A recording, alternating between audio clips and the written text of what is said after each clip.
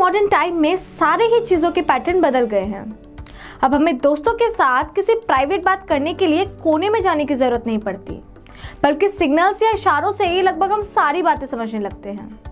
मगर ऐसे में मुझे अपना एक और बचपन भी याद आता है, जहाँ हम सब भाई बहन जब भी मिलकर टीवी देखने के लिए साथ बैठा करते थे तो उसी दौरान एक एड स्क्रीन पे आती रहती थी, और उसे देखते ही घर का माहौल बदल सा जाता था। हम बच्चा पार्टी टीवी का चैनल चेंज करने के लिए दौड़ने लगते थे तो मम्मी सब कुछ देख के अचानक से किचन की तरफ़ कुछ ज़रूरी काम के लिए चली जाती थी। पापा अचानक अपने फ़ोन को स्क्रॉल करने लगते थे, जैसे उन्होंने कुछ देखा ही नहीं।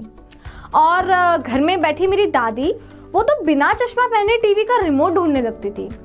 वो पता है क्या था? दरअसल मैन फोर्स कॉन्डम का ऐड था वो।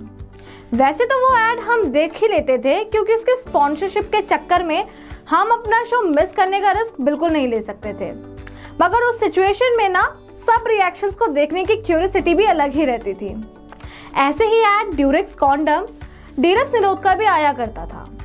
Hello friends my name is Sonali Nautiyal और मैं आप सभी का हमारे चेतना मंच के खास सेगमेंट हिचक में स्वागत करती हूँ।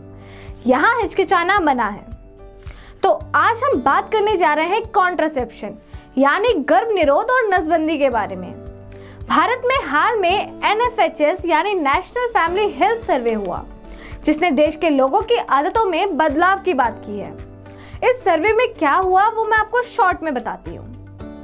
सर्वे की रिपोर्ट के अकॉर्डिंग भारत में 10 में से एक से भी कम पुरुष कॉन्डम का यूज़ करते हैं। यानी कॉन्डम यूज़ करने वाले पुरुषों की संख्या हमारे देश में 10 प्रतिशत से भी कम है। महिलाएँ अक्सर प्रेगनेंसी से बचने के लिए कॉन्ट्रासेप्टिव पिल्स का इस्तेमाल करती हैं। कॉन्ट्रासेप्टिव पिल्स को हम बोलचाल की भाषा में गर्भ निरोधक गोली भी कहते हैं, जिसे लेने से प्रेगनेंसी का खतरा बिल्कुल कम हो जाता है। कॉन्ट्रासेप्टिव पिल को आई पिल, अनवांटेड 72 प्रिवेंटॉल, नोवेल पिल के नाम से भी जाना जाता है। आमतौर पर पिल्स का नाम लेते ही बहुत सारे सवाल घूमने लगते हैं, जैसे बर्थ कंट्रोल पिल लेने से कोई साइड इफ़ेक्ट तो नहीं होता, या फिर ये पिल्स कहीं फेल तो नहीं हो जाएँगी। इसे लेने से वेट गेन होता है क्या? या फिर इसे यूज़ करने से फ्यूचर में कॉन्ट्रासेप्शन में कोई प्रॉब्लम तो नहीं होगी?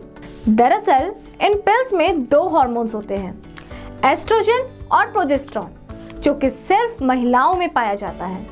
एस्ट्रोजन हार्मोन मेंस्ट्रुअल साइकिल को रेगुलेट करता है तो वहीं प्रोजेस्टेरोन हार्मोन प्रेगनेंसी में फीमेल बॉडी को सपोर्ट करता है। बर्थ कंट्रोल या गर्भ निरोधक गोली लेने से आपके शरीर के अंदर ओवुलेशन बंद हो जाता है।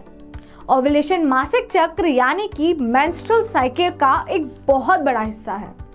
जब ओवेरी में एग रिलीज़ होता है, तब ओवुलेशन होता है। ओवेरी में अंडे के रिलीज़ होने पर वह स्पम से फर्टिलाइज भी हो सकता है और कभी कभी नहीं भी। अब जब ओवुलेशन ही नहीं होगा तो एग्स का उत्पादन भी नहीं होगा। और जब एग्स बनेंगे ही नहीं तो स्पम से मिलकर फर्टिलाइज होने का खतरा भी नहीं होगा। तो कुल मिलाकर प्रेगनेंसी का रिस्क भी नहीं ही रहेगा। इसे आमतौर पर ओरल कॉन्ट्रासेप्टिव पिल भी कहते हैं। और ये प्रेगनेंसी को रोकने का हार्मोन बेस्ड तरीका है। हमारे देश में आज भी गर्भ निरोध की ज़िम्मेदारी महिलाओं की ही मानी जाती है।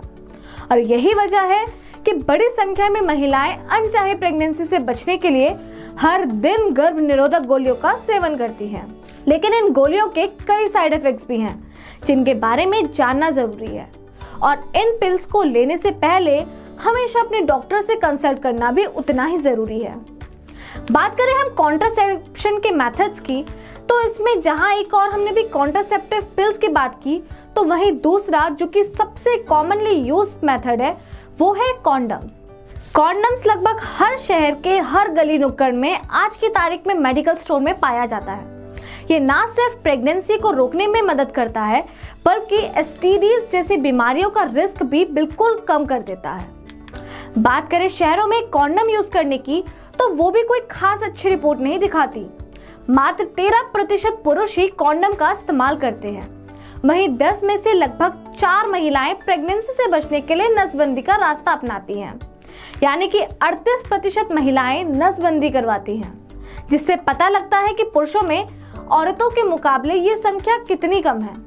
और ये तब है जब सर्वे में बयासी प्रतिशत पुरुषों ने स्वीकार किया है कि उन्हें कॉन्डम की हेल्थ बेनिफिट्स पहले से मालूम है।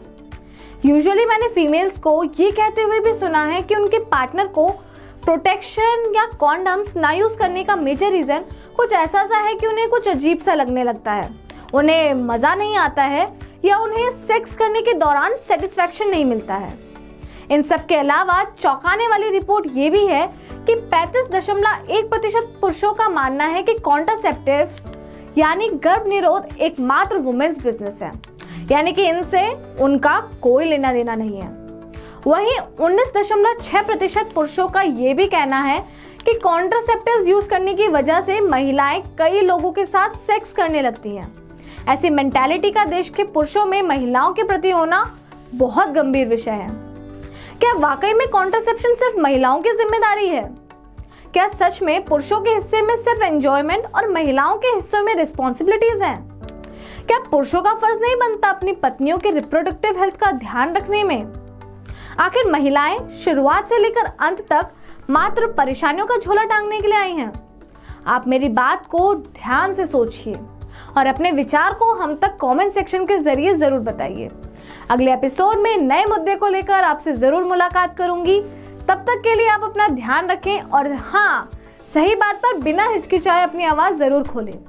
धन्यवाद।